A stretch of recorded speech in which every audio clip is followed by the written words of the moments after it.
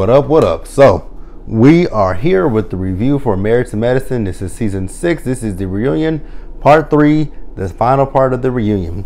So, we pick up with where last week episode left off, which could have been done, it could have been last week when we ended this reunion. But thanks to Bravo, we just finishing this week. So, this week's it picks up with Greg and Quad. They are face to face with one another and you know, Andy's asking each of them how they feel seeing each other. Quad, you know, I guess because they in a bad space, she feel a little iffy. Greg, you know, it is what it is with him. Greg is just kind of nonchalant at this point. So, um, you know, we got the other couples backstage, and you know, you had I know Heavenly, you had Contessa, you had a lot of them telling Greg to get his woman back. But you know, with them saying for Greg to get his woman back, it's not even the fact that um, for Greg to get her back, because Quad does not want Greg. Quad never really wanted Greg. If we're gonna be honest with it, you know, with each other. So, um, you know, Andy asked Quad how did he she feel about hearing Greg say nice things, you know, the pleasantries about her, and she did like um to hear that. And um, you know, then we talk about that radio interview that Gregory did uh, last year where you know he was talking about how they didn't have sex for three years or so in the marriage, and you know Quad is talking about you know with them not having sex, that was when she knew that he was cheating on her, and Gregory's like, but you know I wasn't ever cheating on you, so you know how did you know that? And she was like, you know you couldn't get an erection. Oh shit, excuse me. And you know, uh, Greg is like, you know, it was a lot of stress going on, so that's why I couldn't get an erection, which I'm like, okay, you know, whatever. Um, so basically, here's the thing that got me was when Quad said that Greg did not want the marriage. He made a mockery of their marriage and he didn't want it. And I'm like, true enough, he did make a mockery out of your, your, your marriage. I'm not going to I'm not going to not deny that part. But as far as you to say that he did not want the marriage, neither did you. You, I think and I have to agree with Greg. I do believe that Quad checked out of the marriage a very long time ago. So for her to say that he didn't want the marriage, it's it's obvious that you didn't want it as well. And I just hate the fact that she tried to blame that solely on Greg because I, I, didn't agree with that. And you know, um, Andy asked Greg that he cheated, and Greg said he did not cheat on um, Quad. And you know, they talk about um, the night that Greg was in the club when Quad saw her husband dancing with a motherfucking woman in her dancing with a woman in her motherfucking face. Um, and Greg says, you know, um, it's so funny that you talking about you seeing me with that woman. And Greg to play semantics, talking about the woman. He wasn't dancing with the woman. The woman was dancing with him. I'm like, Greg, if it walks like a duck and quacks like a duck, nigga, it's a duck. And you know, he talks about how Quad is dating because you know Andy asked the question of if they're dating, and you know Quad said that uh, Greg is dating, but she's not dating. And he, then and Greg was like, but you know, who was that guy that you was at the club with? And you know, Quad is still saying she was not dating. And you know, um, Greg did say that he loves Quad, and that um, you know, he tried with Quad. You know, whenever he tried to reach out to Quad, she didn't answer, which we saw that. You know, last season when she was in the car with Toya, she hung up the phone on him. This season when she was with Jackie or um, Heavenly, she didn't answer the phone, or she did answer the phone. She was very short with him. So then, you know, they both talk about abuse on both ends. You know, um, Quad said that Greg drug her, you know, messed up her knee. Uh, he took the battery out of her car. He, um, you know, said that he would kill both of them and, you know, just proceeded to put his foot on the gas. And, you know, he said he pulled a TV out of the wall. I'm like, damn, like, what size TV was it? Like, goddamn, how heavy was the TV? Like he got some incredible Hulk ass strength pulling shit out the wall and shit. Like damn. Um. So then Greg also says that you know, well, you um pulled a gun on me or a knife, whichever one it was. Pulled a knife. I'm thinking about Tammy and Walker. Um, but you know, they both agree that they've been violent with with one another, which I'm like, God damn. And you know, Andy asked him the question of, in order for them to move forward, what do they want for you know, what do they want? And you know, Greg he apologizes to Quad, and you know he tells Quad that um you know he still loves her and he just wants what's best for Quad, and Quad basically says the best you know the same for him.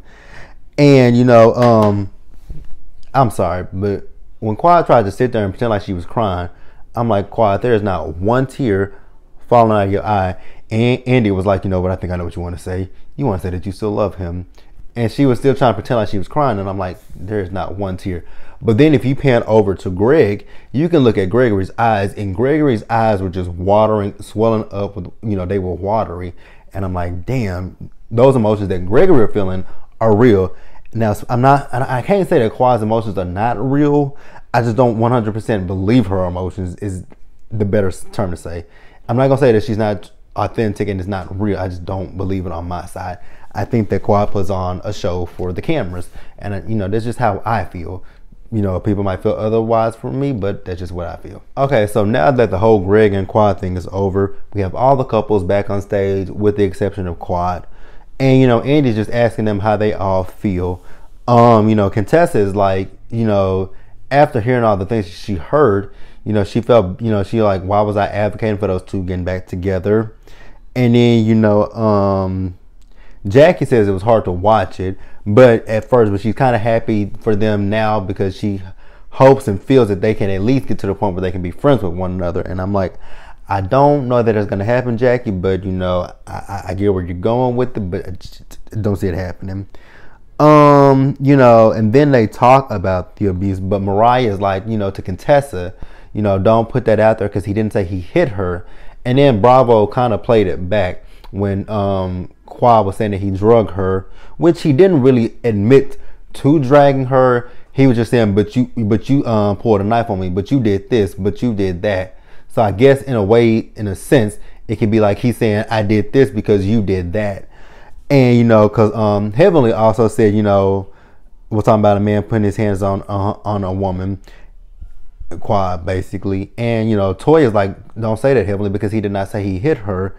And Andy was like, but they both, you know, admitted to abuse on both sides, which they both did.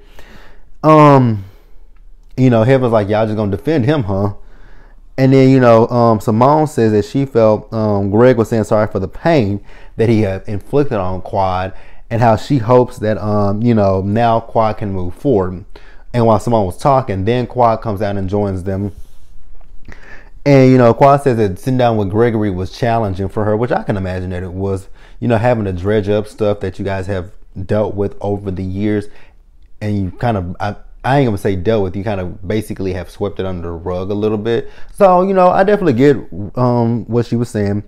And, you know, she apologizes and um, she apologized to the women. And I'm so happy that she apologized to them because, you know, it was much needed. Like, you push these women off all season long. Well, not all season long, but for the first half of the season, you pushed them away. So I was got, I was kind of happy that she was able to apologize to the women. So then we move over because we still had the couples on the stage. So you know, I read this segment where they were asking, Andy was asking the questions from the viewers and from um, you know just asking his questions. I was kind of in and out with this because I wasn't really 100% interested. I know uh, Andy asked Lurch, has he um, been king for a day? Again, he says no, which I'm glad. Um, and you know, he asked him how did he feel when Jackie told her patient that you know she um she still has trust issues with him. He said he wasn't happy with it, but I'm like, I mean, what do you expect? You expect her to just, just say, okay, we're back in this marriage. We're gonna work on this, but I'm not gonna have trust issues with you. Like, fuck out of here. Like, that's some crazy shit.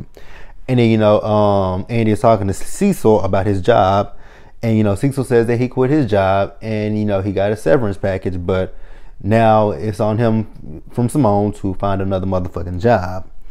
And you know, um, you know, uh, Mariah's like, yeah, and it's trickling down to Aydin.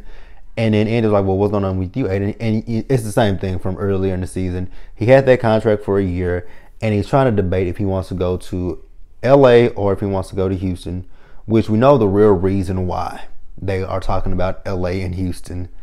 They're talking about LA because Married to Medicine um, Los Angeles is coming. They showed a, a, a, preview of it. We will get an episode coming in March. So once Married to Medicine Los Angeles comes on in March, I will possibly, i am to watch the first episode. And if I like the first episode, then I'll review it. Which I wish they would bring Married to Medicine Houston back because Married to Medicine Houston was actually really good you know, I watched the first season of Marriage to Medicine Houston. I liked the um, black doctor. Um, she was a dentist, Doctor Ashandra, or I think that's her name, Ashandra. I couldn't stand the one that begged was begging that man to get engaged to her, and then after the show ended, they broke the fuck up. And you know, Marriage to Medicine Houston had the same outcome of this Marriage to Medicine, like how it goes from because Marriage to Medicine Houston it premiered on a Friday night, so that was actually why they moved originally moved Married to Medicine to Friday nights, so that it, it could be a lead in for Married to Medicine Houston, which people forgot about it because I clearly forgot about it because I had intended to watch Married to Medicine Houston, but I missed the first episode and I didn't even know it came on until I watched Ashley Miller's Ashley Shaw Miller. If y'all not subscribed to her, go subscribe to her. She love her. Um, so uh, yeah, I didn't know. I didn't know that show was on until Ashley said something about it in her marriage medicine video. So, um, they asked a question of Toy. Andy asked the question of Toy. Why did she flip out over Simone and a whole basic comment about sex? And you know, Toya gave some kind of bullshit ass answer, which had nothing to do with her whatsoever. But um, Cecil said, "Should I take basic if it's frequent?" I'm like, God damn Y'all don't have them, y'all don't have sex like that, and then on top of that, she's basic. I'm sorry, I could not be with Simone. Ain't no way. Like you gotta do something in bed. Like you can't just lay there and let me just huh, huh, huh, huh, huh. And, and like that's just gonna be boring, my nigga. Like no, uh, uh, like I can't have boring basic sex. That's just that's all right, y'all. The last thing that we're gonna talk about, and we're gonna be done with this review, and we're gonna wrap up the season. Um, it's gonna be Toya and Contessa. I don't know why we spent so much time on Toya and Contessa. I'm still trying to figure that out. Um, so Toya let us know that with the house, they are um, it's, it's coming along nicely. They are um, they will close on the house in February. Um, she let us know that she's because Andy asked her what is the budget right now. I thought Toy was gonna say that they went over. I'm like, girl, please say y'all ain't went over on this house. But um, they have not went over on the house. She said that she's putting down money. Technically, Eugene is putting down money because I don't know what Toya is putting down. But whatever, if you say so, Toya. Um. So then someone said to Toya, uh, well, a, viewer asked a question about her um, saving, putting some money toward her kids' college fund. which she said, "How you know I'm not doing that?" And it's not the fact that they're not saying that you don't do it they're saying, you know, I guess a lot of people feel like you guys just got out of the tax problems that you had, and now you are going into, because technically this is another bill, another debt that you have to pay, and you know, you know, if Toya and Eugene got the money to do it, and it's not gonna put them back in debt, by all means, go for it. Um, and you know, Toya says over the last five years she's learned a lot about budgeting and whatnot. I'm like, Okay, if if you say so, Toya, I really hope I really do hope Toya has learned her lesson because I feel like when it came down to Toya and Eugene's tax issues, it was mostly Toya. I don't believe it was Eugene. I just believe that it was mostly Toya. Um, and then Contessa, I don't know why she was so shady. Contessa says that you know she's happy that they found a forever home because they were living like um refugees. I'm like, oh my god, why would she say that? So, um, you know, Toya then talks about how Contessa has ta- attacked her all season, and I'm like, I think I missed. I think I must have missed a few episodes in between here and now, but I I, I don't 100% remember Contessa attacking you. I remember it being you this whole season going at Contessa, but you know, whatever. Maybe maybe I, I maybe I've been watching a different show. Maybe I was watching Married to Medicine Los Angeles instead of Married to Medicine Atlanta. I don't know. You know, could have been watching a different show, but if that's what Toya, you know, feels, go for it, Toya. So then, you know, Andy asked the question, Toya, of Toya, why did she feel the need to um, address, you know, at her party? Why did she feel the need to talk to Contessa on the speakerphone, on the microphone? And, you know, she wants to say, oh, it was because Heavenly was being so messy. True enough, Heavenly was being messy, but you didn't have to, when it came to that phone call, because Contessa was on speakerphone.